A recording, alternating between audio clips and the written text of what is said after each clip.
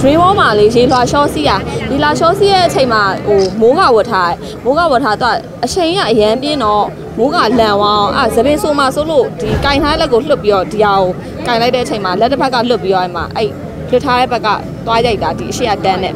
အဲ့မှာအစပိုင်းကတော့နာတော့နာနေတယ်ဒါပေမဲ့နောက်ပိုင်းကျတော့အိမ်လဲပြင်ရောက်တော့အမကွာလှလှုပ်ရှားရှားအဲ့လိုမျိုးလှုပ်တာပစ္စည်းတွေပါတယ်တဲ့အဲ့လိုအိမ်လှုပ်တွေပါတယ်လှုပ်တဲ့ခါမှာပြန်နာလာပေါ့နော်နာလဲနာအမဆေးသွားစီးလိုက်တာဒါပေမဲ့အခုတော့တက်တာသွားပါပြီနည်းနည်းပါလေ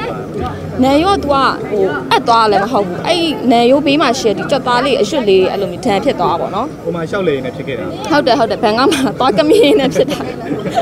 ဘယ်နည်းလောက်ကြာခဲ့လဲတဲ့ 9ရက်လောက်ကြာတယ်ကိုရတော့မှာဘယ်ရှောက်လေခဲ့ပြောဖို့ကောင်းခဲ့လားအဲအရင်ပြောဖို့ကောင်းပါတယ်တနာအဓိကသွားတော့808ပေါ့နော်808သွားတာ808နှစ်ရက်သွားတယ်ပြီးတော့ shopping တွေပါတယ်သွားတယ်ပြီးရင်အဲ့ dream mall သွားတယ်တယောက်တည်းလားတငယ်ချင်းနေနဲ့တငယ်ချင်းနေနဲ့ဟုတ်တယ်ပါဒီရက်ပိုင်းတွေကတော့အဲကြော်ညာရိတ်တွေဆိုင်ဖွင့်ပွဲတွေပေါ့နော်တောက်လျှောက်ဖြစ်နေညူရကြတော့အလုပ်တော့မလုပ်တော့ဘူးဒီညူရကောက်တောင်ပွဲလေးသွားဖြစ်မလားတော့မသိသေးဘူးပေါ့နော်တေတော့မသေးချာသေးပါဘူး